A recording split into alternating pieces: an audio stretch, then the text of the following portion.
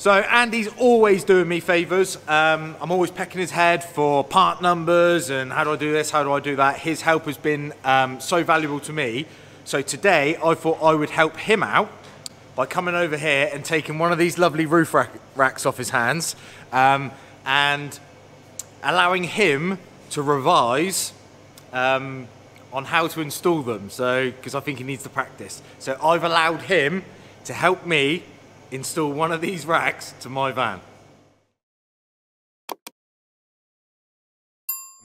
Basically, these are Victron panels. Um, there's two apertures, um, pre prefabricated, ready to go. Victron panels only.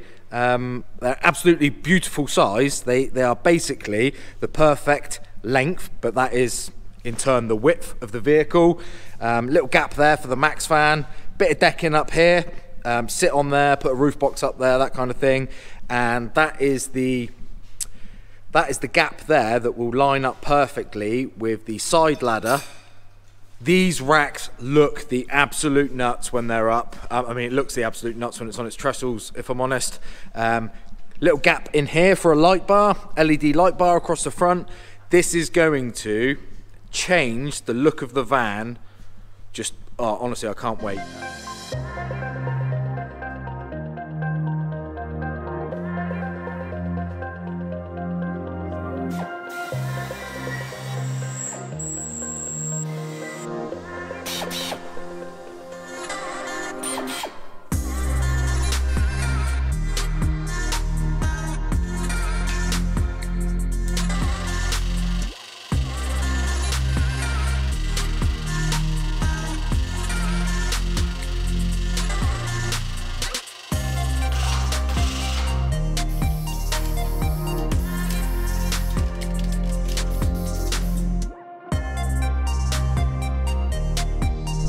Guys, rare opportunity to fill you in.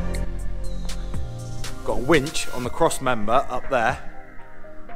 Absolute dream. So while the roof racks aren't that heavy, I think this comes in at 60 kilos naked. Um, while they're not that heavy, obviously it's so cumbersome. You wouldn't, you would not be able to just manhandle something like this up. It's just, just too big. Obviously, it's almost the length of the van. Got a winch in place up there. Um, I'm doing a little time lapse with a GoPro right the way up there. Um, that'll be part of my time lapse video for the complete build once it's done. So look out for that one because I'm hoping that one will be a good one. Basically, we've now got the roof rack up. We've pre-drilled the Victron panels um, where they're going to live so that um, once we've sat the rack on, we'll basically put that on, bolt them up from underneath. Uh, I'll show you the bolts shortly and how we are actually bolting it to the van. But basically, we've got the rack in the air. I'm going to drive the van in now, jig it left and right so it's perfect as possible. And then what we're going to do, we're actually going to sit it down on some real thick Celotex blocks. Um, because then what we can do is we can both jump up on a ladder, either side, talk to each other, and at, pretty much at the same time, remove a block and then make sure that the metal is sitting on the track of the van and not scuff in any of the pretty paintwork. Let's go.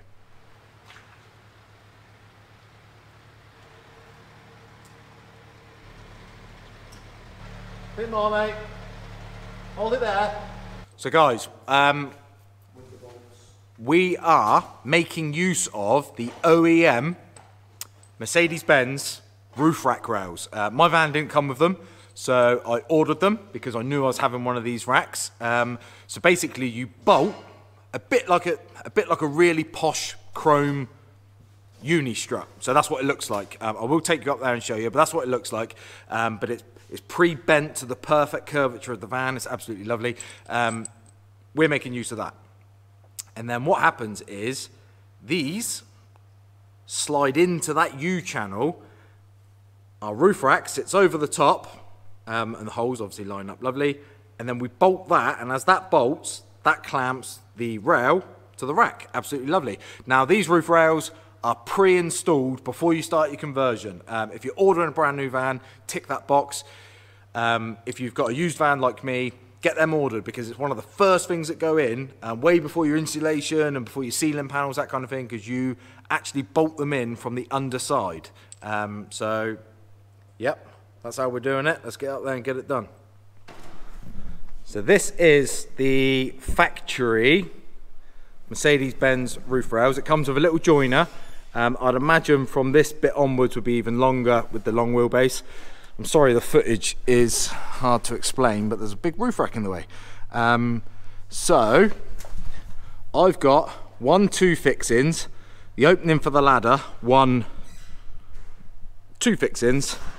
So basically, there's my bolts ready. From this end, which is an open channel, I'm basically going to slide these fixings in like this.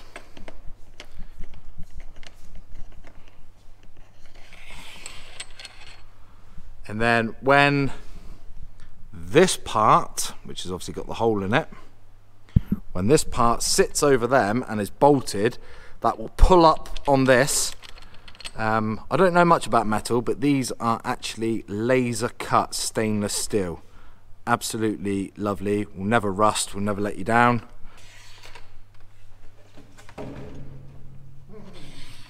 Careful now.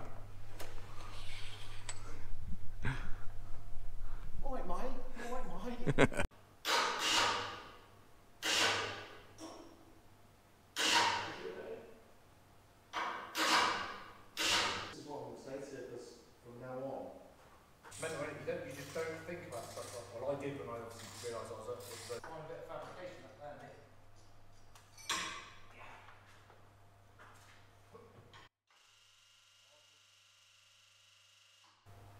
know it was going to fare, you know what I mean? Make sure there's nothing left, mate. Have you got the side cutters to get rid of that football? I see it. Yeah, yeah, I see it. Not to fucking knock the van with it.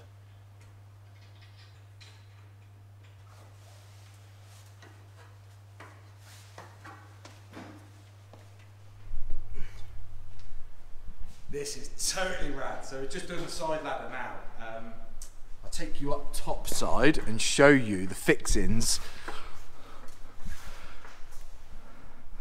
So like I said before, we're making use of the the tracks, the Mercedes-Benz um, roof rack rails, and then the ladder has it uh, uses the same kind of like plate with the stem of thread on it, but then there's a cylindrical washer that pushes it um, above the roof height, and then basically this ladder sits on like that. It looks absolutely fantastic.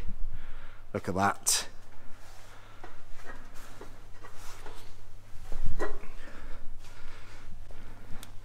Then we're just going to get in here now and drill off. Um, there's like an angle bracket here that drills to the sill, and then you bolt the ladder to said bracket.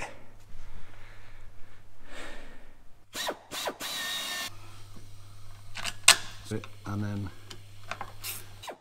Now, 120 frames a second, mate. I don't know what that means. I'll press the red button in the top right corner. The biggest of overlanding chap could climb that, no problem. Absolutely no problem. So guys, back on the driveway. Um, the wind is causing absolute havoc up and down the whole country. So hopefully this audio is um, good enough to make the cut. Here we are, we're back on the driveway. Um, I've had a little bit of time to digest it as well. I didn't have time to even to do an outro um, while I was getting this fitted. It looks the absolute nuts. Um, I'm going to put a link to um, Pinky's Custom Fabrications down below. Um, go check them out on Instagram. It looks absolutely awesome. Now, what I will say is these racks will be available, made available um, through Ape Adventure Vans. Um, DM Ape Adventure Vans or Outfit My Sprinter. Down below, I'm going to put a link to both of them. Um, but what I will say is at the moment, it's mid wheelbase only and it's this rack. Um, there's no, but I've got air conditioning or I want this, I want that. This rack is available. So that's using two Victron, 140 watts um, solar panels. They were supplied by BSPK Solar. Um, I'll put a link to him down below because um, he's got loads of cool, um, all the blue stuff, you know, all the pretty stuff. Um, they were supplied by him. It's this rack. Um, pretty much you can choose between a Fiamma awning or a Thule awning or no awning at all. But apart from that, if you want one of these, it will be this rack. Max fan at the rear.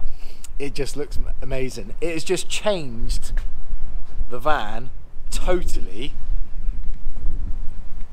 It's it's probably the most aggressive exterior um, modification I've made, and it just looks nuts. I'll take you up on my ladder and I'll show you my roof.